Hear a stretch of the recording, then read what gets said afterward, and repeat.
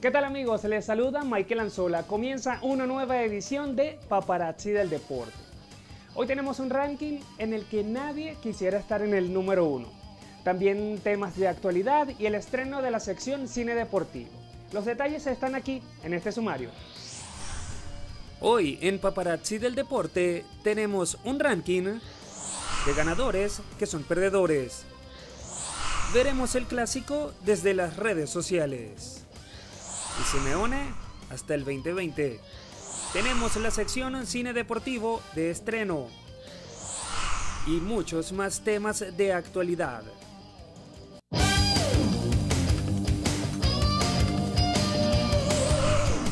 Comenzamos esta edición de Paparazzi del Deporte con un ranking en el que nadie, absolutamente nadie, quisiera estar en el número uno. De modo que quien ocupa el sitial de honor o de deshonor es tristemente célebre. Tenemos un ranking de Forbes de esos deportistas que más perdieron por estar involucrados en casos de dopaje. Y cuando les hablo de los que más perdieron, me refiero a las finanzas. Los atletas eh, que más dinero han perdido por dar positivo en controles antidopaje, ya sea por cancelación de contratos comerciales, multas que debieron pagar a organismos internacionales y en algunos casos por el costo de los juicios a los que debieron sujetarse. Este es el top 5 de los grandes perdedores por utilizar sustancias prohibidas. En el puesto 5 encontramos a Marion Jones atleta estadounidense especialista en pruebas de velocidad y salto de longitud, que ganó tres medallas de oro y dos de bronce en los Juegos Olímpicos de Sydney 2000. Pero en octubre de 2007 confesó ante un tribunal federal de Estados Unidos haber consumido sustancias no autorizadas en dicha competición, por lo que fue sancionada y le fueron retiradas las cinco medallas olímpicas. Y no solo eso, se vio obligada a devolver todos los premios económicos ganados a partir del año 2000. Las pérdidas económicas de Jones se calculan en 3,5 millones de dólares y según fuentes cercanas a esta atleta, ahora se enfrenta a serios problemas económicos.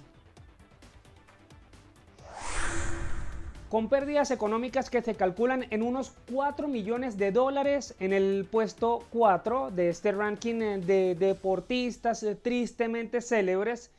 Encontramos a Tyson Gay, atleta estadounidense especialista en carreras de velocidad que en julio de 2013 reconoció que había dado positivo por una sustancia prohibida cuyo nombre no fue revelado. La USADA, que es la agencia antidopaje de Estados Unidos, notificó al atleta un par de días antes de que reconociera el positivo que arrojó un control fuera de competición. La declaración de Tyson Gay ocurrió semanas antes del Mundial de Atletismo de ese año y tras conocerse la noticia, Adidas, su patrocinador principal, dio por terminada la relación comercial con el atleta, ya que este fabricante alemán incluye una cláusula en sus contratos con deportistas, según la cual el compromiso puede quedar rescindido en caso de dopaje. En el puesto 3 de este ranking de los grandes perdedores por utilizar sustancias prohibidas, encontramos al ciclista español Alberto Contador, quien debió contar además pérdidas económicas que ascienden a 6,7 millones de dólares. Todo esto tras el proceso conocido como el caso Contador que investigó el supuesto dopaje del ciclista por consumo de clenbuterol en el Tour de Francia, el cual ganó y que luego le fue despojado el título. El Tribunal de Arbitraje Deportivo sancionó a Contador por dos años e impuso una multa de al menos 2.485.000 euros además de regresar todos los premios económicos que había obtenido. Sin embargo, en diciembre de 2012, tras un largo periodo de negociaciones, el ciclista y la Unión de Ciclismo Internacional lograron un acuerdo amistoso para el pago de la multa derivada de la sanción, pero ninguna de las partes implicadas ha querido develar a cuánto asciende finalmente el pago de la multa pero en general se estima que las pérdidas de contador ascienden a 6,7 millones de dólares con lo que ocupa un deshonroso tercer lugar en este ranking de los perdedores por positivos en controles de dopaje. Llegamos a la antesala, al puesto 2 de este ranking en el que seguramente nadie desearía estar en el podio. El ranking de los grandes perdedores por utilizar sustancias prohibidas. El puesto 2 lo ocupa Alex Rodríguez con pérdidas económicas que ascienden a 43,5 millones de dólares. Este pelotero ocupó el puesto número 2. La razón es una historia conocida y que hemos eh, tocado aquí en este programa. En agosto de 2013, Alex Rodríguez fue encontrado culpable de estar involucrado en el caso de la clínica Biogénesis que suministraba sustancias a varios peloteros. Alex fue señalado como el protagonista de esa red y las autoridades de las grandes ligas decidieron suspenderlo 211 partidos, lo que significó su ausencia en toda la temporada pasada. Y apenas se le comenzó a ver en los entrenamientos primaverales de 2015. Nada más en salarios, se calcula que las pérdidas de Alex Rodríguez ascienden a nada menos que 22,13 millones de dólares de los 25 millones que debía ganar eh, en 2014 por contrato.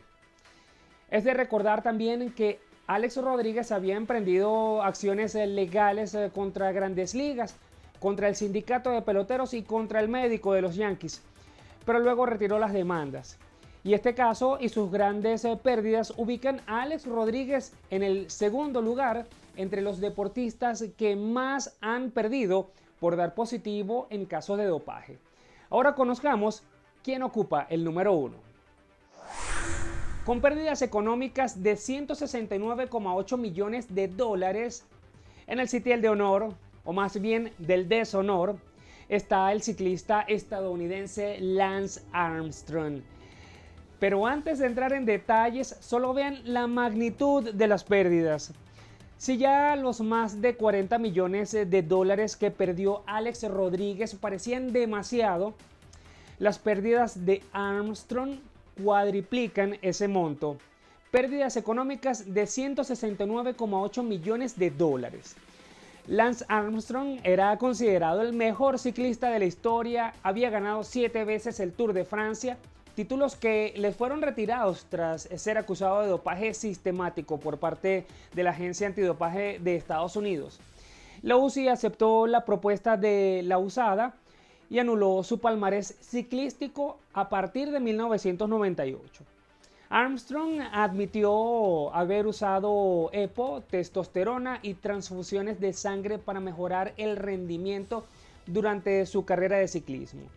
La revista Forbes calculó en su momento que tras confirmarse su dopaje el tejano dejaría de ingresar más de 138 millones de dólares y la mayor parte de esa cantidad procedía de firmas publicitarias que rompieron unilateralmente los contratos eh, tras las sanciones de la UCI y de la USADA. Fue así que lo abandonaron importantes marcas como Nike y la fábrica de lentes Oakley, entre muchas otras.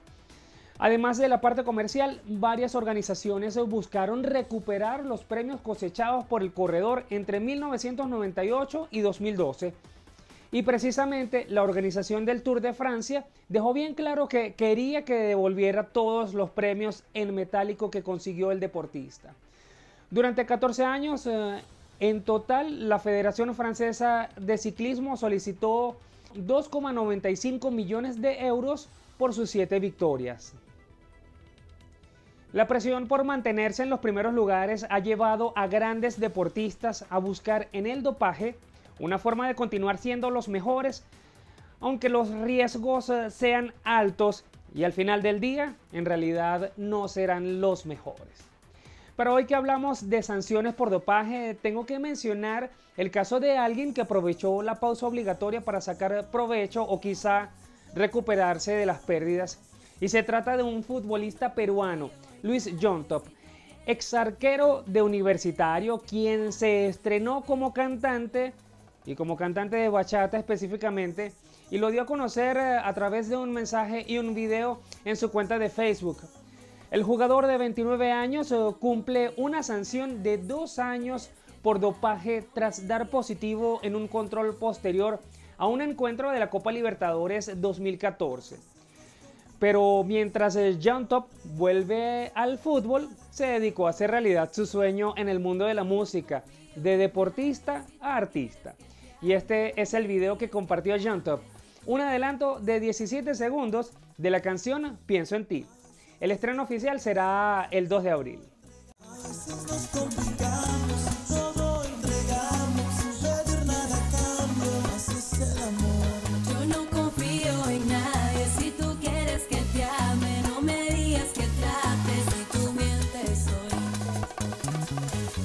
Y con esta información hacemos la primera pausa en esta edición de Paparazzi del Deporte. Al regreso estamos de estreno con la sección Cine Deportivo con Rafa Castaño desde España. Ya venimos.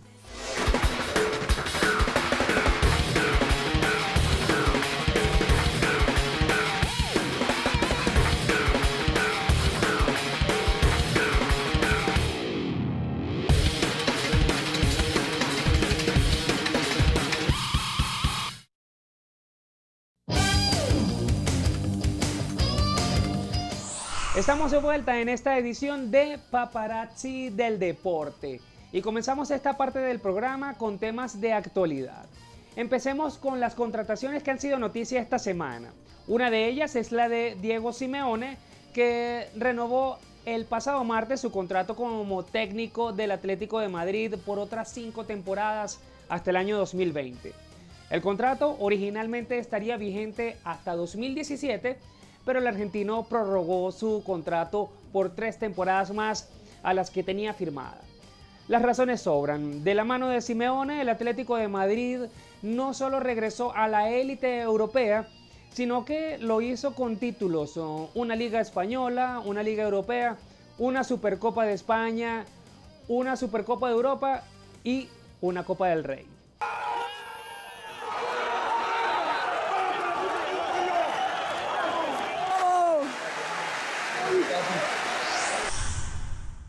En el fútbol local, el delantero venezolano Eder Farías, máximo goleador del Caracas en la presente temporada, extendió su contrato con el equipo hasta diciembre de 2017. Tras conversaciones con su agente y con el propio jugador, el Caracas eh, finalmente llegó a un acuerdo con el atacante, quien seguirá defendiendo el escudo de los Rojos del Ávila por dos años más, finalizando su nuevo contrato en diciembre de 2017.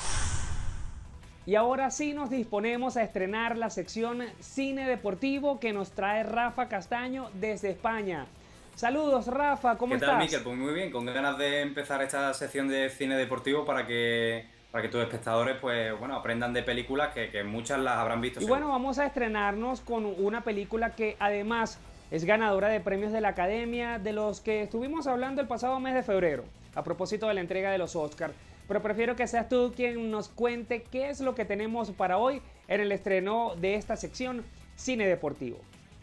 Bueno, pues hoy traigo una película muy conocida, eh, Forrest Gump, la película del 94 de Robert Zemeckis, eh, una película que le valió el Oscar a, Tom Hanks, al mejor actor, por segundo año consecutivo. Y es una película en la que el deporte tiene una presencia, si no protagonista, si al menos eh, regular, por así decirlo. Sale con bastante frecuencia eh, todos recordamos que, Tom Hanks o Forrest Gump en la película eh, es un runner, un corredor. Eh, aparte está en el equipo de fútbol americano de, su universidad debido a esta habilidad que tiene de, echar a correr como, como, el que más. Y también llega a participar en unas Olimpiadas en el equipo de Estados Unidos de, de ping pong. Es una película que evidentemente no tiene el deporte como protagonista, pero que sí tiene, como digo, una presencia, una presencia importante y es una película que además nos sirve también para aprender historia de, Estados Unidos, eh, con una técnica que ya empleó eh, Woody Allen en, en un falso documental. Eh, Robert Zemeckis usa aquí imágenes históricas en las que inserta a Tom Hanks para que interactúe con personajes de la talla de, bueno, pues de, Lyndon B. Johnson. Es una película muy amable, de con una filosofía detrás representada por la escena emblemática de la pluma que vuela y que te viene a decir que, bueno, lo que te pase eh, puede que sea el destino o puede que tú tengas que aprovechar las oportunidades que, te ocurren a lo largo de, la vida. A fin de cuentas, Forrest Gump es un personaje muy sencillo, que llega muy lejos y la película es el mensaje que defiende. Todo el mundo puede aprovechar las oportunidades que le llegan en la vida para hacer cosas importantes, como por ejemplo correr cuatro años seguidos y ese es un ejemplo de la, de la presencia del deporte en esta película. Así que una película que evidentemente muchos hemos visto, pero que no viene mal volver, volver a ver, aunque eh, ese mismo año, y es mi opinión, hubo películas que se merecieron más el Oscar a la mejor película, como por ejemplo Cadena Perpetua o Pulp Fiction. Tenía mucha competencia, pero al final se llevó el Oscar a la mejor película, como digo, una película que también merece la pena y que, y que hay que ver. Así es, Rafa, muchísimas gracias por esta recomendación de hoy. Tenemos que volver a, a, ver Forrest Gump, definitivamente. Nunca está de más volver a ver esta película. Y ahora, teniendo en cuenta estos datos que nos ofrece eh, en esta sección, especialmente en lo deportivo. Pero ahora, para despedir, recuérdanos oh, tus redes sociales y dónde te podemos escuchar. Danos todos los datos. Bueno, pues mi perfil en Twitter es arroba rafael barra baja castano. Eh, el perfil del programa es arroba voz deportiva FM. Estamos en Neo FM, en una radio local de Sevilla, pero nos podéis escuchar en www.neofm.es o si tenéis móvil, Android o iOS, pues os bajáis la aplicación MixLR y allí podréis escucharnos, eh, interactuar con, con nosotros Así que nada, eh, os dejo eso, esas redes sociales, esos perfiles para que entréis en contacto conmigo, con, con el programa y que nos podáis sugerir incluso películas sobre cine deportivo. Así es, porque ahí tenemos cine deportivo todas las semanas, todos los martes. Todos los martes, aproximadamente a las 7 menos cuarto hora española, pero el programa que os recomiendo escuchar empieza a las 5 horas española. Bueno, muchísimas gracias a Rafa Castaño, magnífico de saber y ganar, periodista y colaborador de Paparazzi del Deporte desde España. y así hacemos oh, una nueva pausa en esta edición de Paparazzi del Deporte. Al regreso tenemos más.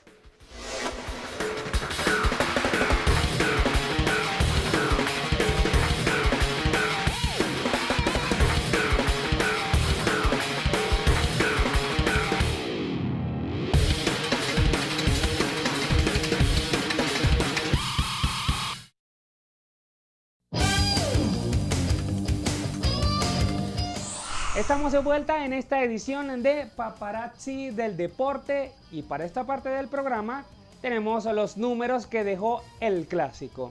Y ya saben de qué les hablo, porque el pasado domingo tuvo lugar una nueva edición del clásico del fútbol español entre Barcelona y Real Madrid. Pero se trató de un partido que no solo se jugó sobre el césped del Camp Nou, pues también se desarrolló minuto a minuto en la cancha del Twitter donde se comentó cada pase, cada carrera, cada falta, cada remate al poste y por supuesto, cada gol. Veamos las cifras que dejó este clásico. En primer lugar, todos los tweets registrados bajo el hashtag El Clásico, usado de mutuo acuerdo por Barcelona y Real Madrid, se vieron más de 400 millones de veces, lo que da una visión del alcance mundial del partido. Y en cuanto a los momentos específicos que generaron picos en la conversación, los tres eh, que generaron más tweets por minuto fueron los goles de Cristiano Ronaldo y Matthew y el final del partido. El gol de Cristiano Ronaldo con el que logró empatar el partido generó 15.000 tweets por minuto. Y los perfiles oficiales de Barcelona y Real Madrid empataron al alcanzar más de 160 mil menciones cada uno a lo largo de los 90 minutos que duró el encuentro. El tweet más retuiteado de la jornada fue el de arroba Real Madrid, en el que publicaba el gol de Cristiano Ronaldo con un total de más de 22 mil retweets. Pero una nota negativa tras el partido la puso un grupete de hinchas descontrolados que luego de la derrota del Real Madrid ante el Barcelona esperaron a sus jugadores a las afueras de Valdebebas para insultarlos y golpear sus autos.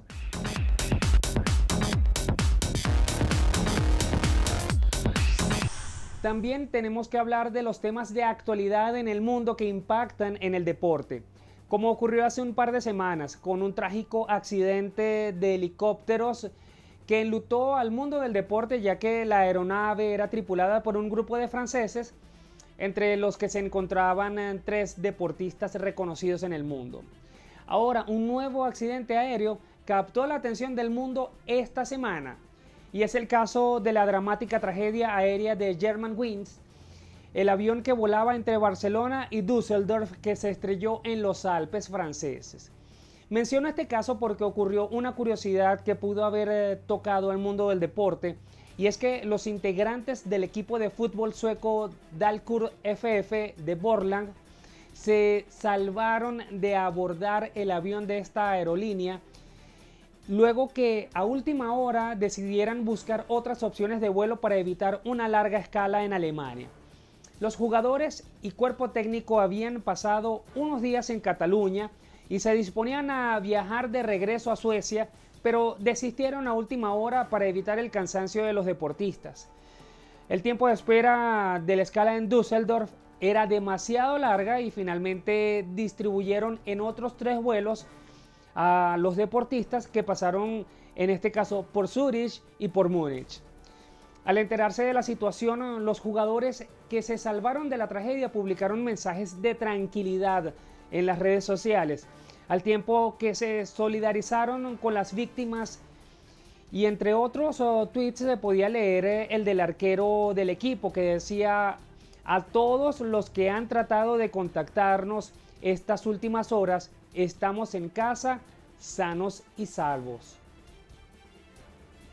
Y con estas breves de actualidad llegamos al final de esta edición de Paparazzi del Deporte. Sigamos en contacto a través de las redes sociales eh, con arroba Miquel Anzola a través de Twitter e Instagram.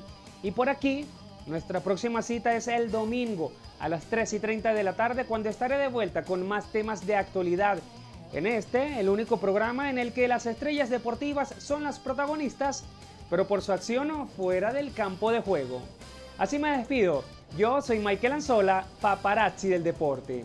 Hasta la próxima.